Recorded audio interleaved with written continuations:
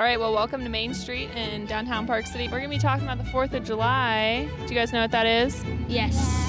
What can you tell me what we celebrate on the 4th of July? We celebrate the United States. Do you guys mind if I ask you a few questions about US history? I have no idea about that. So, do you know what our nation's original capital was? Um, Delaware. Do you know how many stars are currently on our flag? 52. Do you know how many stars are currently on our flag?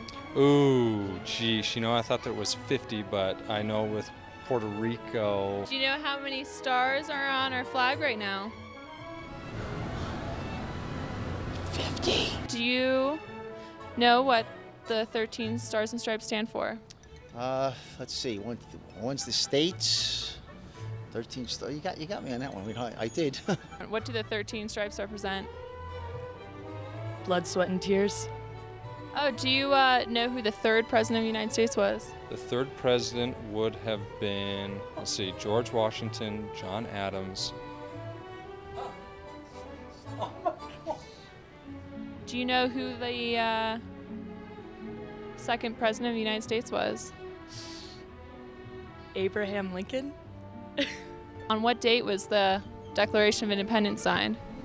July 3rd? No. Mm-mm, no. No, not that. I don't know. Do you know? Um, I'm going to guess 4th of July, but that's probably not right.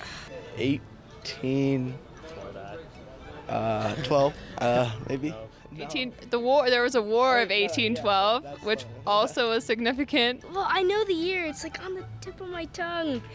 Was it around 1789? Uh, 1776. Do you know who championed for the bald eagle to be part of our national symbol? I'll give you a hint. it Was the first.